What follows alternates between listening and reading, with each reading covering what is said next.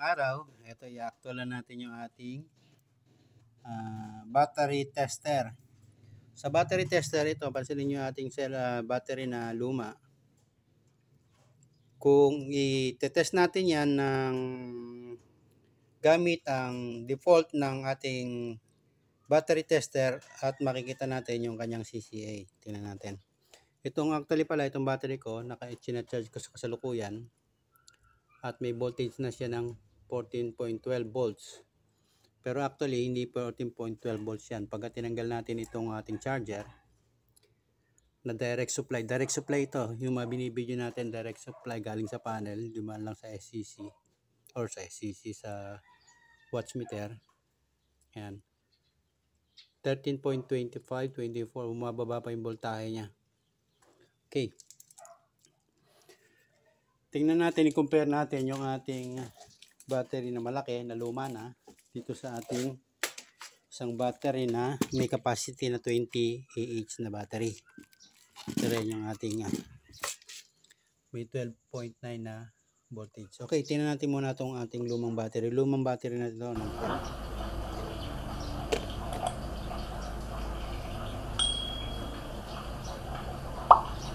yan sa sabi ko nga ito itong battery analyzer natin hindi ito masyadong accurate kung gagamitin natin. Tama, pansinin mo 12 volts, automatic yan, dinidetect niya battery. Then, i-okay mo lang. Pagka okay mo, yan yung default, 500. Then, pag pinindot mo na yung default, i-okay mo lang yung default.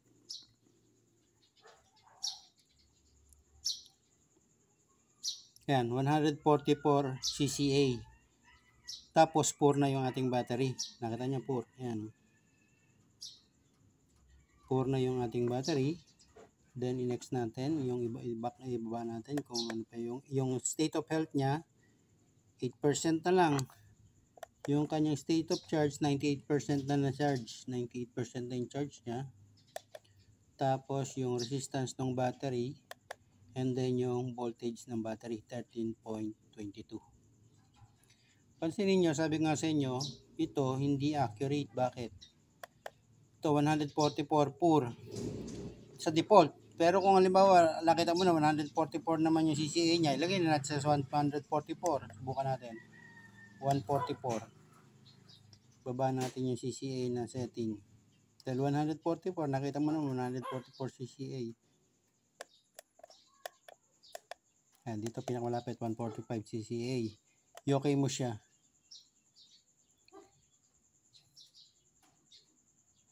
Yan, 142 CCA. Pero nakita mo, nag-good na siya. Tapos, yung kanyang state of health niya, 90, 96%. Tamo, napakataas, 96%. Samantalang luman-luma na to pasira na nga ito eh. Tapos, state of charge, 98 pa rin. Then, yung ating voltage, 13.8. Kaya sabi ko nga ito, pag ginamit ito, dapat sure ka na merong naka-indicate sa battery mo na CCA. Kung walang naka-indicate sa CCA, hanapin mo, i-research mo kung may CCA kung anong CCA niyan. Kasi kung hindi mo i-research kung anong CCA niyan, imi-miss testing ka rin itong ating battery tester. Sa online nito napakamahal na ngayon. Kasi akala nila maraming gumagamit, maraming nag-vlog. Akala nila useful ito. Useful ito sa mga nagbebenta ng battery na may CCA. Pero sa mga nagsosolar, I think kung walang CCA yung battery nyo, kung babasin nyo lang sa formula ng AH, para mo kay CCA, parang hindi siya applicable for me ha, or para sa akin lang. Kapag nagso-solar ka, gagamit ka nito. Kung may CCA yung battery mo, pwede rin. Pero kung walang CCA, yung almost um, karamihan naman kasi ng solar battery, walang CCA, kundi AH lang siya. Okay, tingnan natin itong isang ating battery. Okay, ito isang battery natin. 12 volts din ito. Lagyan natin sa negative. Lagay natin sa positive. Yan. Ang state, ang battery nito is 12 volts. Nakita nyo nag-detect na kagad yung battery ng 12 volts. I-okay mo lang sa 500 na default. Then, tingnan natin yung state of health niya. Yan. 67% yung state of health niya or 67 ang CCA niya. 67 ang CCA niya, yung default nito is 1,000 or 100 to 1, ah, 2,000. Eh 67, walang CCA na 67 dito. Pero mamaya pakikita ko sa inyo. Nakita nyo, poor. Pero itong battery nito, bago pa to. Nakita nyo yung default yung kanya, pan-solar natin to, yung ating battery na pan-solar na shielded. Nakita nyo, poor. At state of health niya, 2% na lang. Tapos 98% ng state of charge. Then yung resistance. And then yung voltage na is 12.81. Ito kahapon pa to naka-charge ng 12.9. Ngayon lang bumaba 12.8. Hindi naglulus pa yung battery.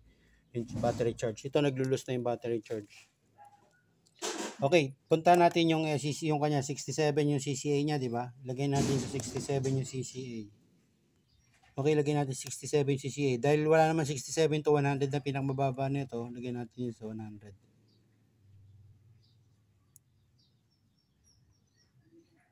Okay, 100 na pinakamababa nito eh. Tapos okay natin. Pansinin nyo, ayan. 66 ang CCA. 44% ang uh, state of health niya. State of charge 98 and then 12.5 volts. Nakita niyo yung state of health niya. State of health kasi ang mahalaga eh. 44% na lang. Okay, kaya itong tester na to, sabi ko nga sa inyo, for me ha, for me, sa aking pagkakuha ng tester na to, hindi ito applicable sa mga solar battery kapag ka nag-state of health ka or lalo na yung mabababang eh, eh, yung CCA katulad nito, bababa ang na-reading na CCA na to. Hindi siya applicable sa solar kung walang CCA. Maliban dito sa mga truck na uh, battery ng truck na may naka-CCA na nakalagay.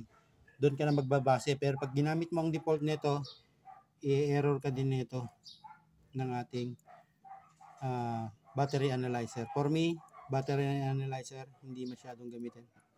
Okay, thank you and God bless us all.